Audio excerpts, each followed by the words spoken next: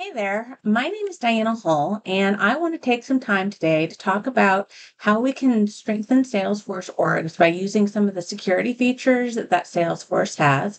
And we're going to speak specifically to enabling API access controls, why we should do it, and some best practices around it. I'm going to go through a PowerPoint presentation and then a quick demo using a Trailhead account.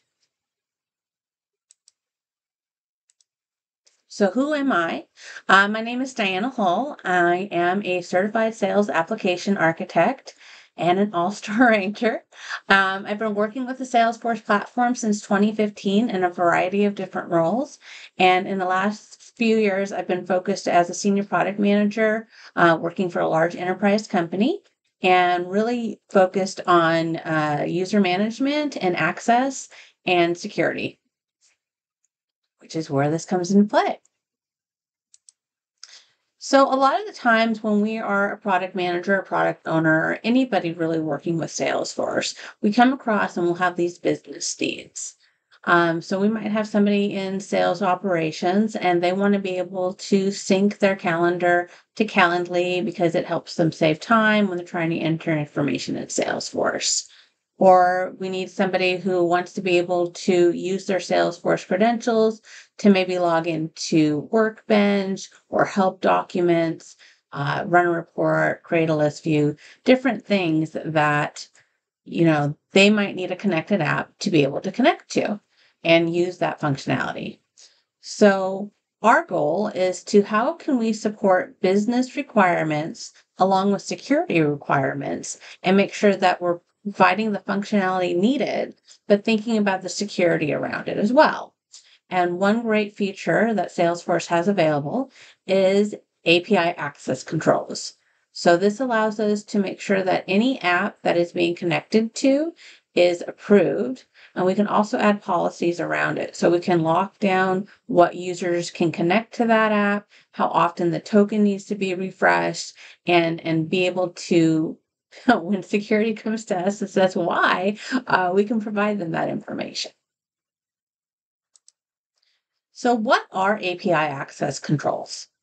So, this is a feature that if your org is not brand new, you might not even have available to you. So, it's something that you need to call and contact your Salesforce rep and ask them to enable this feature. And once it's on, it makes it so that any of your third party apps that you have need to be admin approved or system admin approved before a user can connect to them. So, um, one of these is that we love using is Salesforce Inspector, right? So previously, and it's it's relatively new with the Salesforce Reloaded, um, at least from my experience, is that it used to be a Google Chrome extension. And if you wanted to be able to use Salesforce Inspector in Salesforce, you couldn't do that with API access controls in place because there was no connected app um, that was associated to it. So, in order to use it, you would have had to provide that user with an override permission that took away the restriction of API access controls. Um, also, with turning on API access controls, we have seen some challenges with the developer console being able to run some queries. So once again, it's it's you know being able to understand where you're using these different functionality, who should have access, and then solving and solutioning for those specific use cases, but making sure that they're more the exception and not the general rule. Um, So when we come into our connected app section, I think everybody's really familiar with connected apps and looking at what we have. But there's another section that's a connected app OAuth section.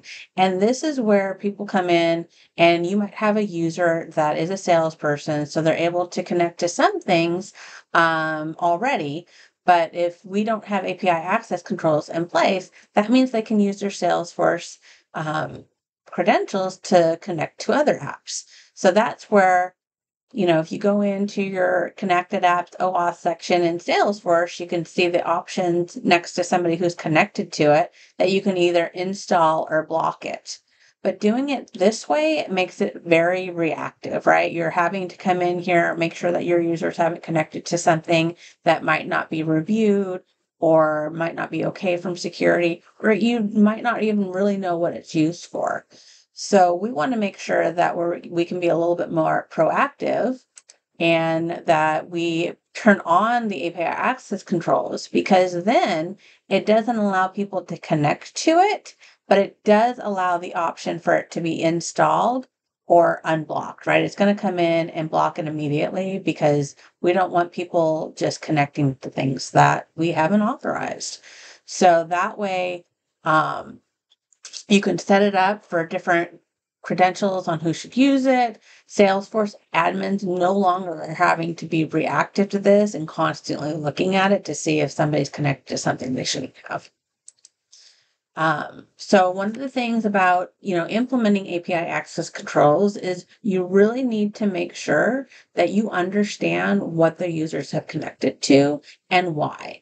Because once these are turned on, it will remove access to them, and you have to go through and update those policies. Uh, there might be some APIs that you're using, depending on how you know legacy your system is, that um, you need to provide a separate permission to make it work. So as anytime we're doing something in Salesforce, make sure you're using your sandbox and testing this fully. And creating a document of, you know, what this app is for, um, even going that one step further. Do you have a security team that is engaged with how you're implementing things in Salesforce?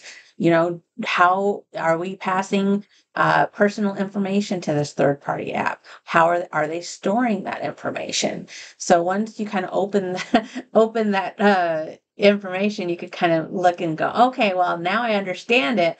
Now I really do want to lock it down. So it's just giving you a little bit more power as an admin, as somebody who's responsible for our system and making sure that it's as secure as possible.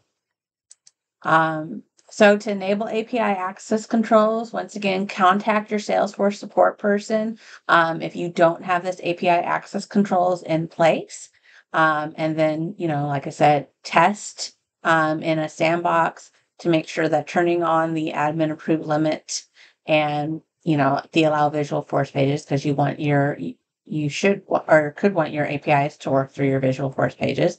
Um, turn that on but that you're then testing it to make sure that there aren't any big impacts. And then if there are, there is a permission set called use any API client that can be created for those one-off scenarios. So it's it's not about limiting the functionality, it's just making sure that we are supporting the users business functionality, but also thinking about the security of the system. Um, so kind of just a little talk through here about creating uh, policies for connected apps you know making sure that you set your token refresh policy. If it's a user you want to immediately expire that refresh token. So if for some reason the browser gets hacked that they can't um, use that token to log in uh, maliciously.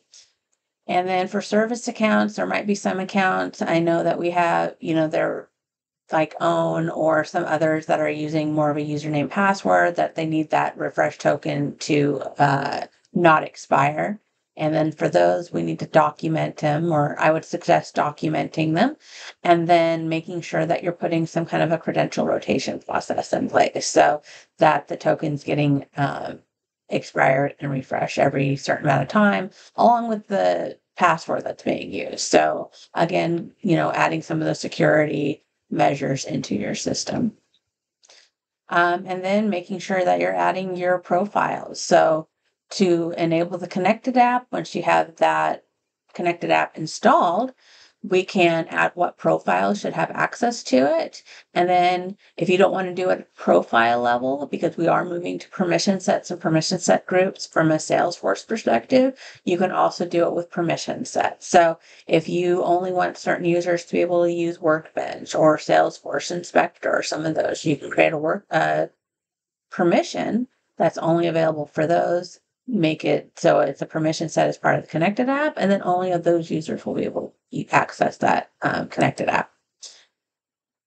So, I mean, I think one of the things is we've been hearing a lot around Salesforce org security and making sure that customer data is protected. It seems that there's been a lot of things in the news about you know, connected apps or third party vendors. And I'm not talking just about Salesforce, but in general, um, where, you know, there is a company that has a data breach. And when it comes down to it, it's because of a third party vendor. And based on, you know, reading, you know, it's identified that third party vendors are five times more likely to exhibit poor security. Um, so that's why we want to make sure that we're reviewing the third party apps that we're connecting and, and making sure that they're authorized. And in implementing the API access controls can really help to make sure that we're not being reactive, that we're being able to be proactive in, in setting these things up. So with that, I'm going to go and switch over to my trailhead and just give a little demo.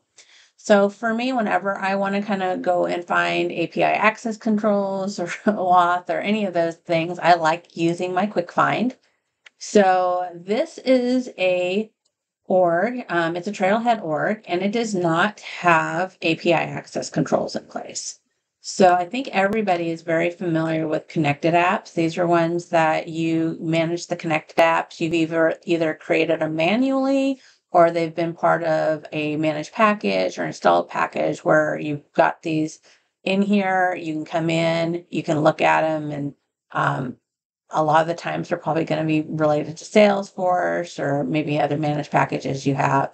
And as you can see here, all users may self authorize. So we don't have, and there's no uh, access restrictions on who can use this in this system.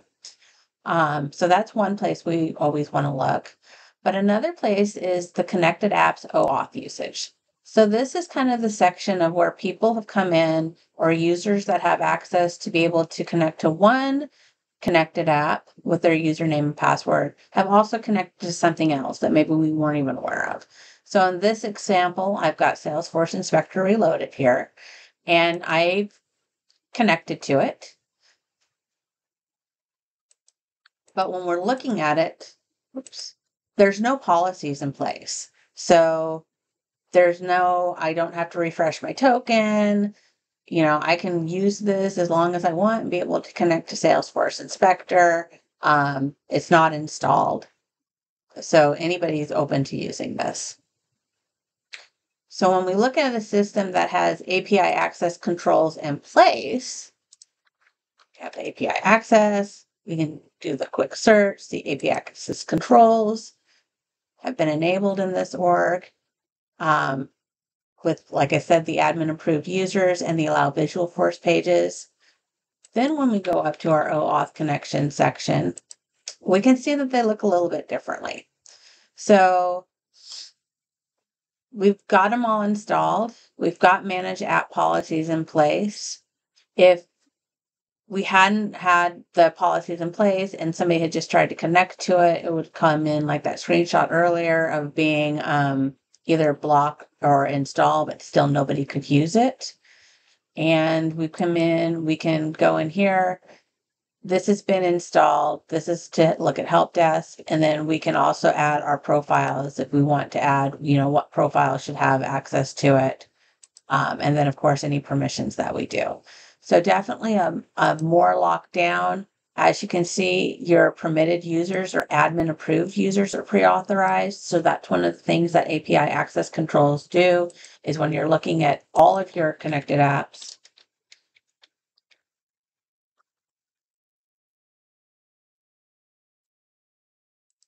instead of seeing that self the users may self-authorize it switches them all to admin approved users or pre-authorized. So then it comes down to making sure that you're setting your policies on all of these apps that are in the system and then identifying who can access them. So I do also have a couple of little references here, um, you know, where there's articles around API access control, directions on installing a connected app, um, the cybersecurity article that I mentioned in the deck. And then there's also a trailhead. So you can get some hands on learning with your super badge Um, so with that, um, I hope you learned something today that maybe you weren't aware of. And if you stayed here the entire time, thank you so much for your time. Um, have a wonderful day. Thank you.